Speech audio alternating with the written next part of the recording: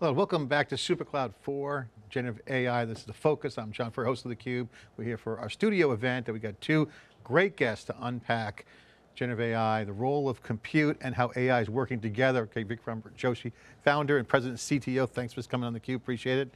Joel Inman is CEO of compute.ai. First of all, love the domain name. so gotta, gotta love that right out of the gate. Good Thank to you. see you guys. Thank you. Thanks for having us. Joel, we've been on before on theCUBE, SuperCloud four, uh, three, I believe you were on. I think it was a three, was it three? Yep. Three, about cloud scale, Just security. a few months ago. Mm -hmm. um, this is the focus of generative AI.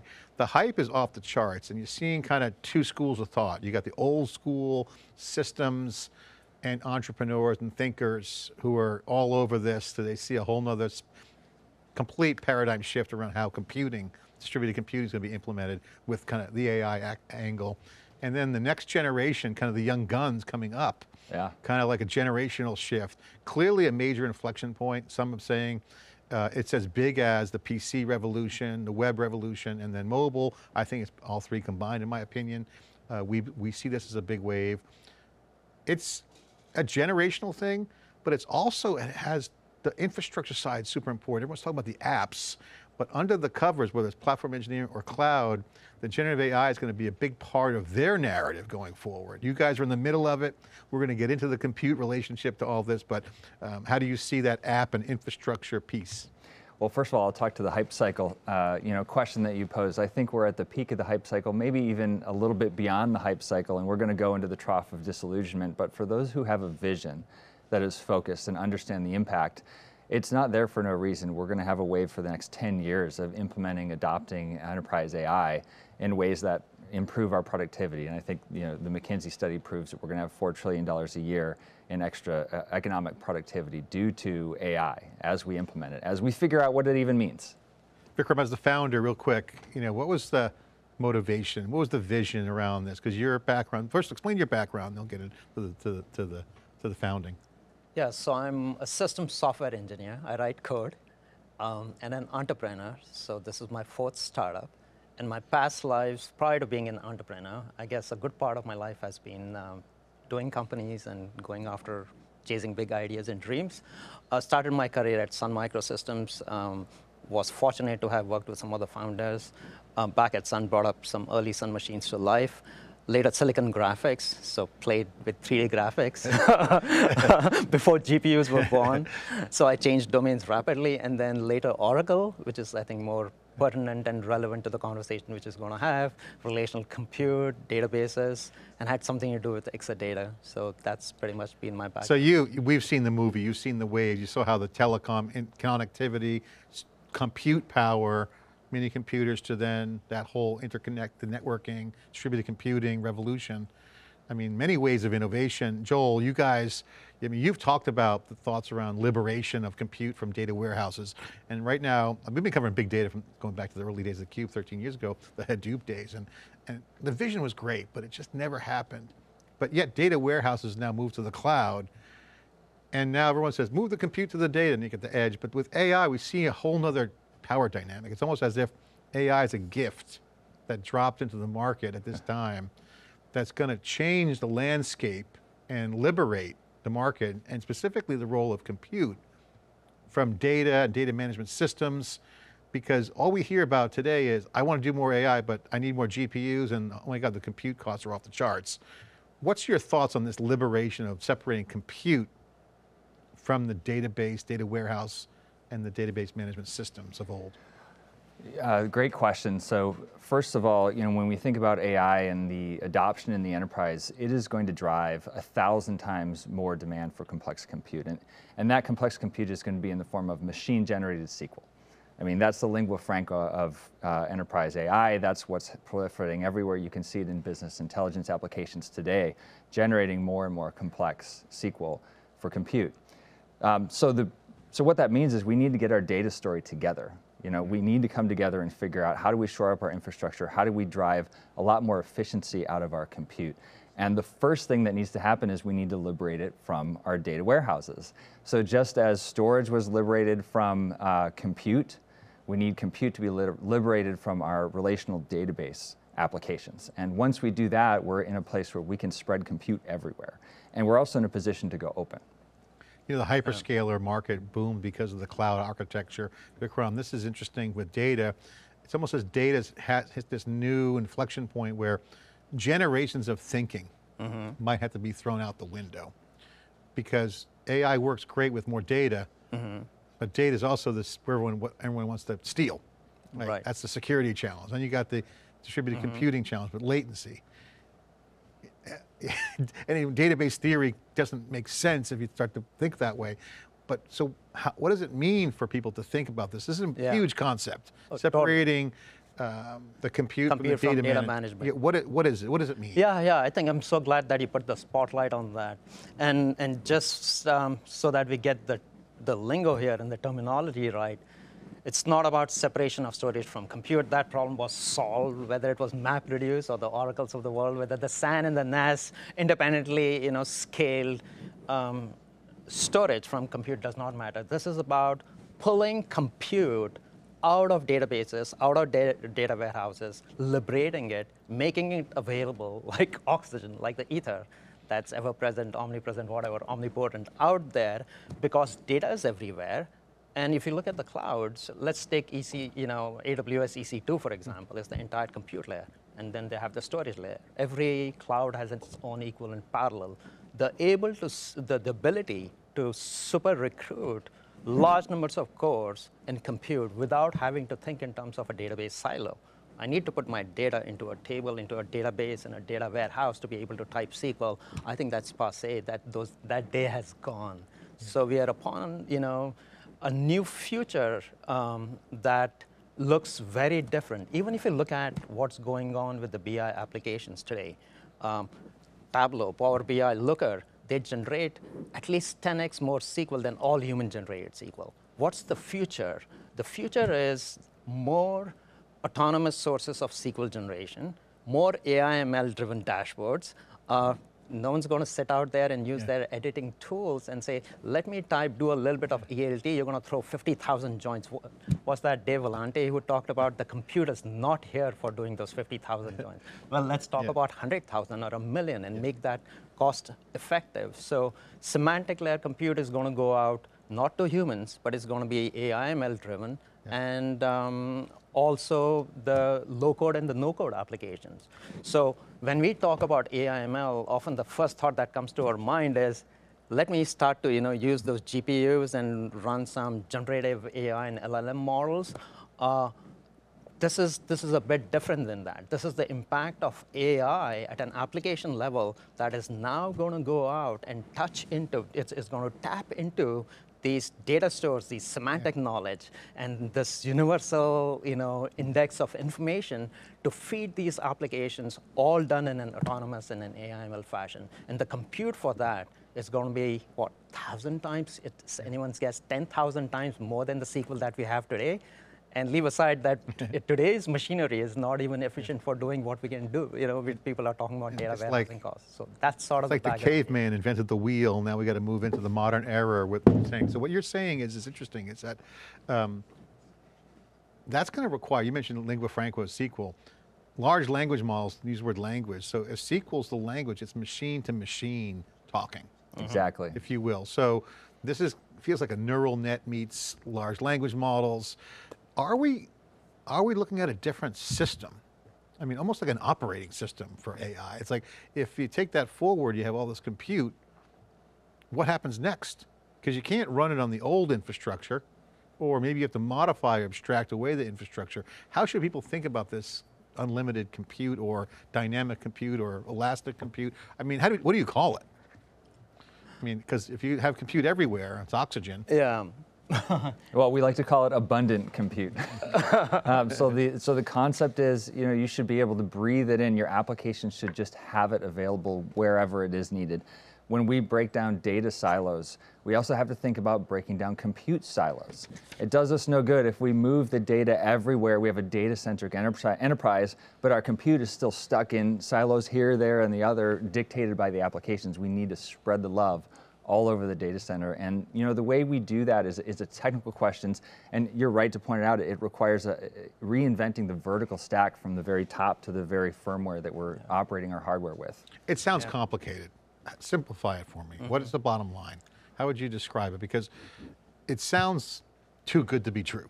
It sounds like Right. because you're setting the table for data being addressable Yeah. and secure. Well, I think um, this is this is not something new. I'm I'm just gonna roll back a little bit here. The separation, the concept of separating, pulling compute out of data management or databases has been present for quite some time. I mean, let's go back to the Netezza days. Hmm. What did they do? They took compute and they pushed it towards data, which was going to be mm-hmm. better for certain workloads rather than move terabytes of data towards compute. You take compute and move it towards data. Later, Exadata follows, you know, as inspired by Netezza and others. So, playing with storage and compute separation, independently scaling them, the ability to take compute and move that around, these concepts have been present.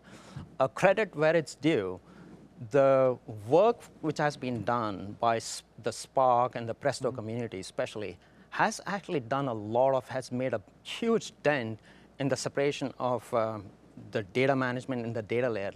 Uh, for example, if you look at the lakehouse, right? What is the lakehouse? Um, it's just a bunch of Parquet files, and your compute is just you type in SQL. You don't think you're not confined to a data warehouse. You're not confined to one of those silos. So I believe that the precedent is here. The problems that need to be solved have to do with compute efficiency um, and making it cost effective.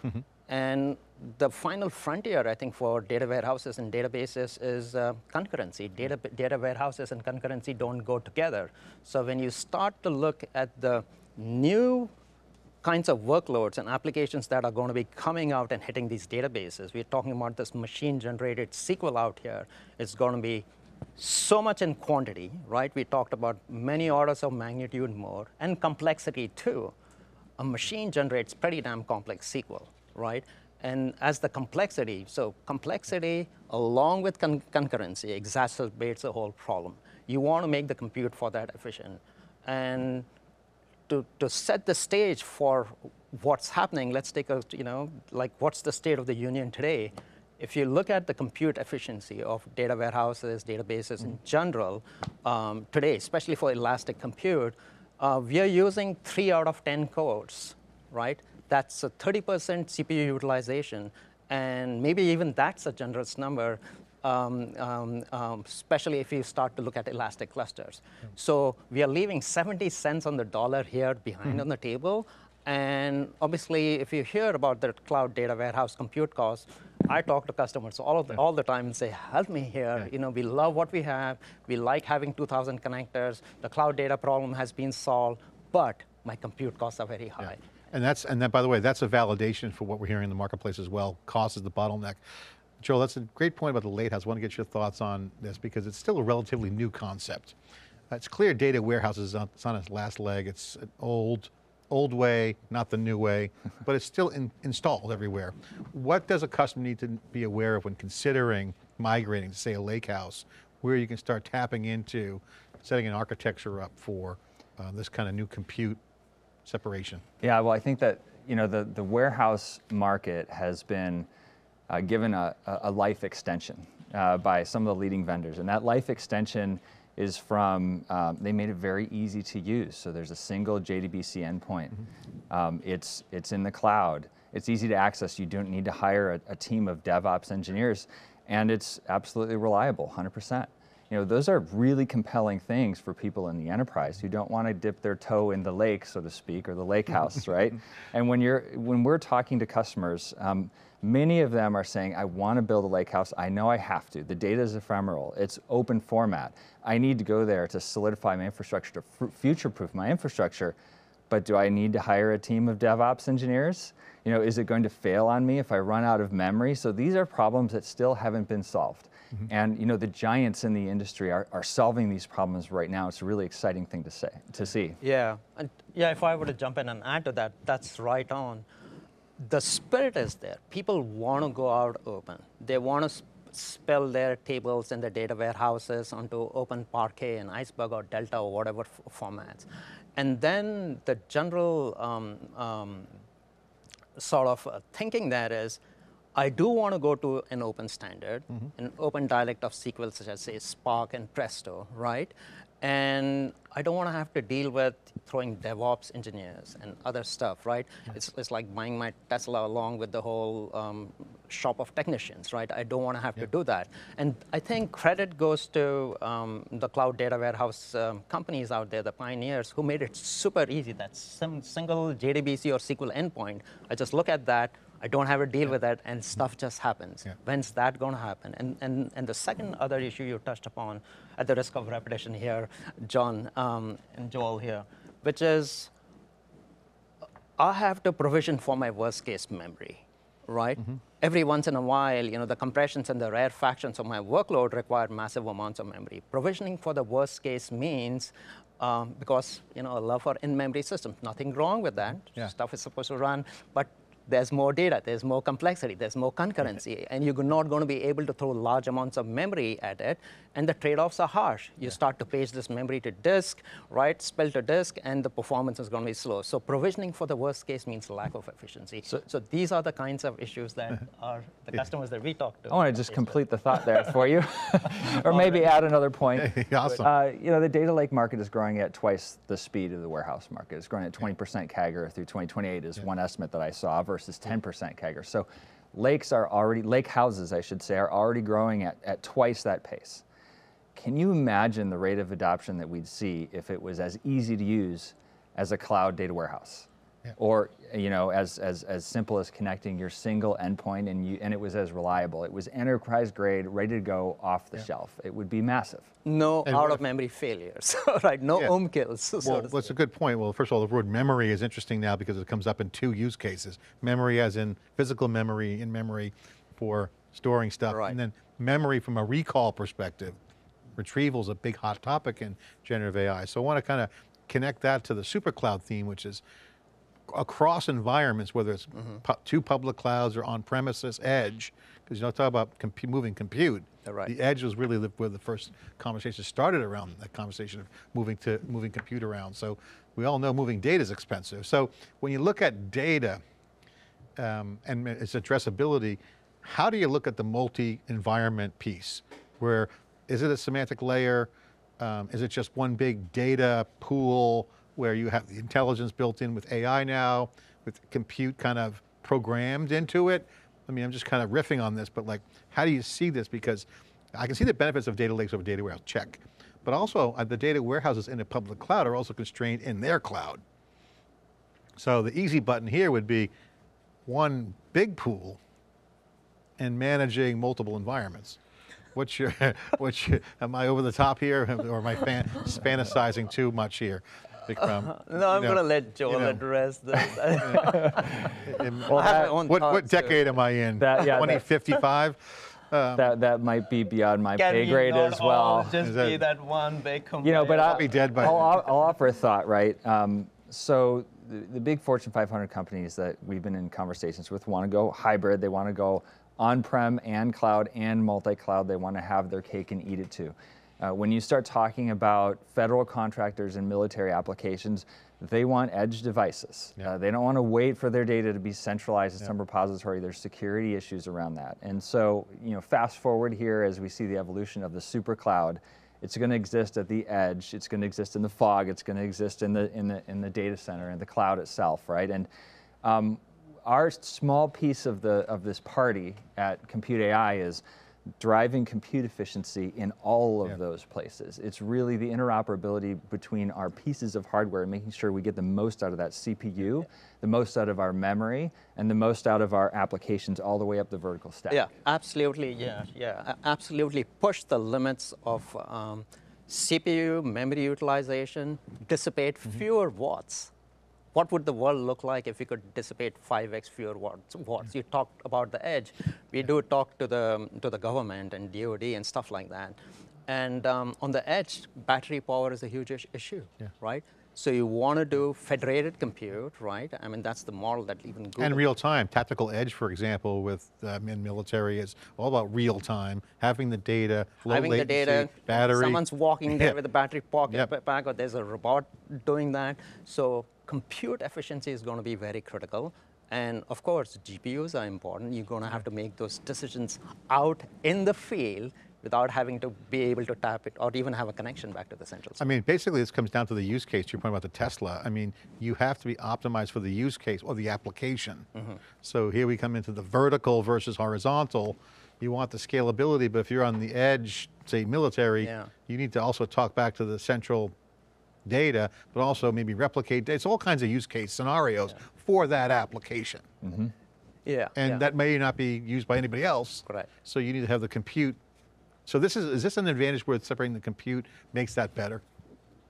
Is that an example? Am I thinking the right way there? Oh, oh, absolutely. Though I'd, I'd say that while there are, John, you point out there are so many problems there to be solved, the one that we think is quite fundamental and um, maybe has the potential of being the tide that lifts all boats is the one of compute efficiency. And when you look at compute efficiency, it's really compute and memory. They're Yeah. two sides of the same coin, right? When the core to memory ratios um, haven't gotten any better, they are actually getting worse, as, as we know.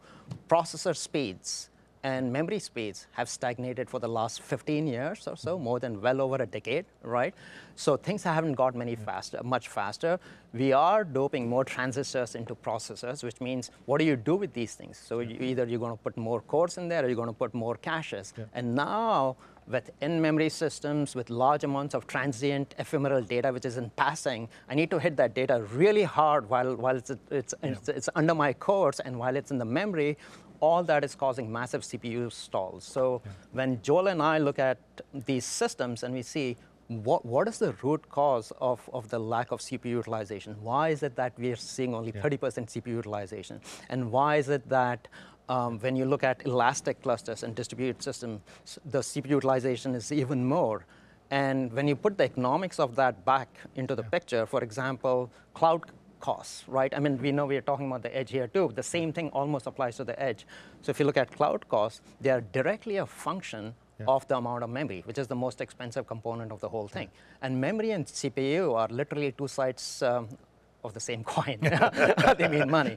If your CPUs are stalled, you're not doing work. And if your memory is not sufficient, you know, paging to disk, you're going to get I/O waits, and that means less utilization. So- Whether you're paging, just to complete the thought, sorry. go ahead. Do interrupt me though. So I just want to get the whole thought out here. So whether you're getting the data from a lower tier of storage, which is the spill to disk, right? In the past, we had to take a coffee break when you started to page. Remember the Linux Yeah. operating system? Or you're going to get that data from over the network. It's going to cause I/O waits. yeah. These are some of the issues Yeah. having to do with uh, efficiency in compute, and aside from liberation Joel, compute. this is the where the action is because uh, um, Dave and I were interviewing um, one of the head guys at Dell Jeff Clarke, and the marketing people like, don't we talk about solutions, not about speeds and feeds. We're in a speeds and feed market right now. All the conversation is how fast can the silicon go? I need more chips. I need more power. We're in a renaissance of systems architecture on a global distributed Without basis scale, and and now with AI as the gift that's going to give the hyperscalers more power. Really, in a perfect storm opportunity, it means pre-game, it's not even first inning. This is where the opportunity is, had a heading. Where, where's compute AI fit in? What's the vision? Where you, where you taking the company? Because right now, you know, all the future scenarios put aside, people just want generative AI working. They want to be positioned to leverage the current situation with headroom so they don't foreclose the opportunities ahead of them. They don't want to misfire. So I won't say baby steps. I'll call it maybe kindergarten, maybe play with some blocks here, you know, get on the rug, you know, play with it, generative AI. So people are experimenting. Yeah. They just got to get going. Where, you, where are you taking compute AI? Well, compute AI is a fundamental building block for next generation architectures, and it really is providing the scale that is needed to address that extra workload that AI is going to bring, the 1000x workload that AI is going to bring. Um, if we don't fix our data infrastructure now, and by fix I mean making it compute efficient, making it infinitely concurrent and scalable, making it, you know, appropriate to feed a machine that is just hungry and just eating and eating and eating all this processing power, if we don't fix that, Yeah. down to the very lowest level with CPU utilization, um, you know, then the costs are going to be out of control. And I'll give you, uh, let's bring it back down to earth Costs for a huge. second, right? Our, our favorite, you know, leading, this is just one example, a cloud data warehouse company, right? If you add a ninth user, your cloud cost doubles. Your cluster size doubles on the back end in the cloud, right? Concurrency is Every eight. ninth user, so the concurrency of nine, Yeah, right, yeah, or a concurrency yeah. of eight.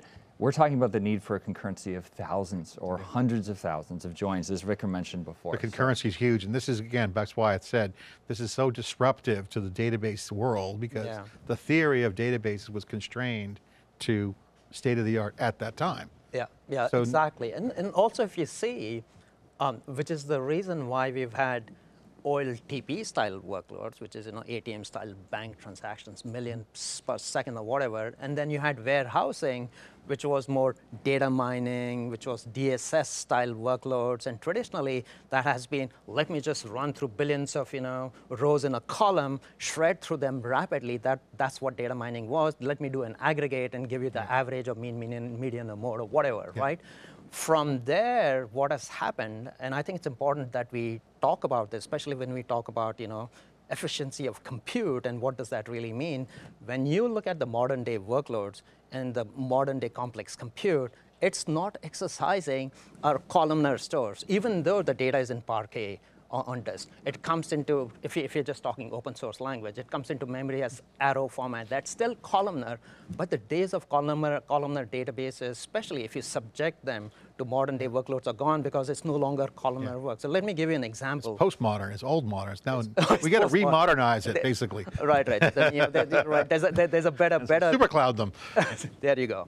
So, so, so what the pattern um, that we are seeing for some of the more modern compute, especially when, when it is generated through auto-generated through one of these autonomous AI-generated SQL sources, is row column row column. So you're going through large numbers of columns, doing aggregates, and now watch this.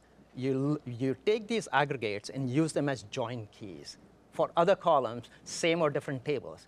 That's that's super complex. You cannot now have the benefit of that linear compression that you get in memory. You have to go row column, row column, and that's where you have to over, over provision memory for the worst case. And that's where OOM kills happen. Yeah. That's where you run out of memory failures. Yeah. So this row column paradigm puts a huge burden on the memory infrastructure and as a result on the compute, and now the same problem. So AI as a gift on one hand is also a challenge, and this is where inflection points really kind of show.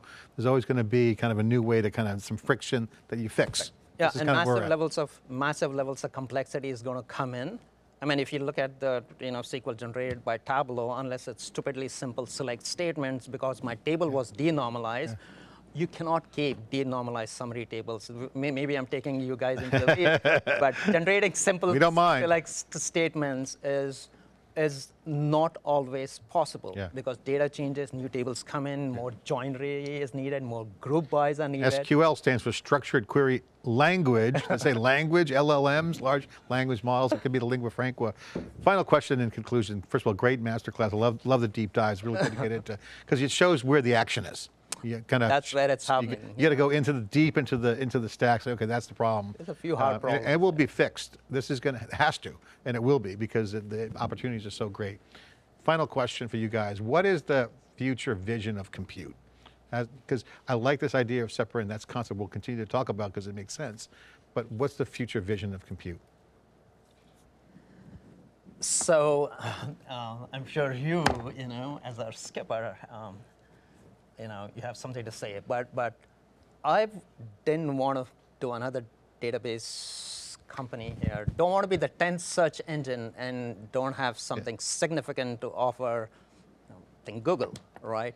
So um, the whole um, challenge that's ahead for, of us, which is lack of infrastructure efficiency. We are throwing massive amounts of infrastructure, CPU memory at the problem. Costs are higher as a result of that. There's an opportunity there. Given the problem of AI, ML, autonomous sources uh, generation of SQL, which is huge amounts of SQL coming with high complexity and high concurrency. So solving those problems is uh, super exciting from a technical perspective. And we can see there is um, Yeah. ample business opportunity here and value.